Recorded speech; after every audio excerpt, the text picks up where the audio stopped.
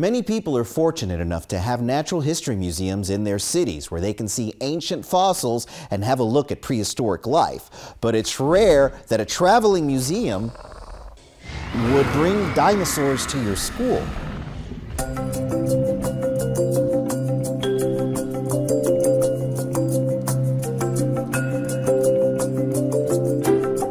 Fasken Elementary School's gym became a paleontology center when the Dinosaur George Traveling Museum made a stop at their campus. The exhibit, which is sponsored by San Antonio's PBS affiliate KLRN, brings real artifacts of prehistoric life from around the world directly to students.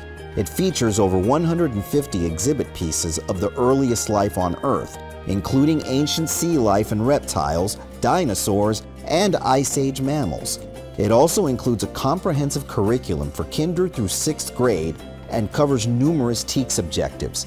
It is one of the largest traveling exhibits in the country.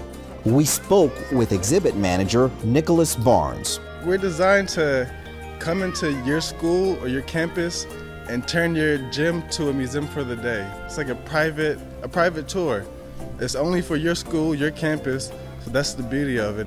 Fasken Elementary first grade teacher Elvia Teeters was in charge of bringing this exhibit to her school. The kids are all happy and they're all thrilled learning, and each grade level has a scavenger hunt. They, they have to learn and look for the animals like carnivores, herbivores, and they have to really, really read what it says so they can learn and then also, not just here in school, but also we're inviting the community to come and see it and invite their parents. Not only is this exhibit highly educational, but students find it very exciting. Little ones, to me, that's the, the best for me because they get so engaged. They have their little clipboards and their scavenger hunts, and they look like little scientists almost.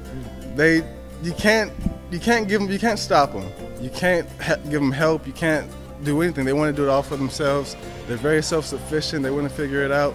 And even with the older kids, say progressing to the fifth grade, those guys they get in here and they they show you that they're really interested and that they care.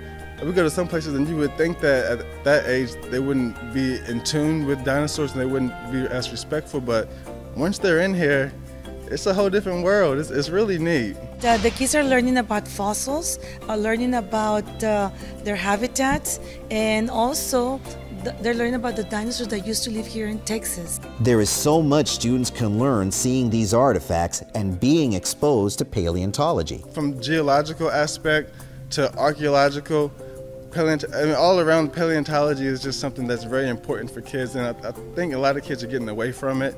They're moving toward more towards technology, and I would just like for kids to realize that this is a it is a growing a growing entity, and it, it is something great. For more information on Dinosaur George and how to bring the traveling museum to your school, go online and visit dinosaurgeorge.com for information.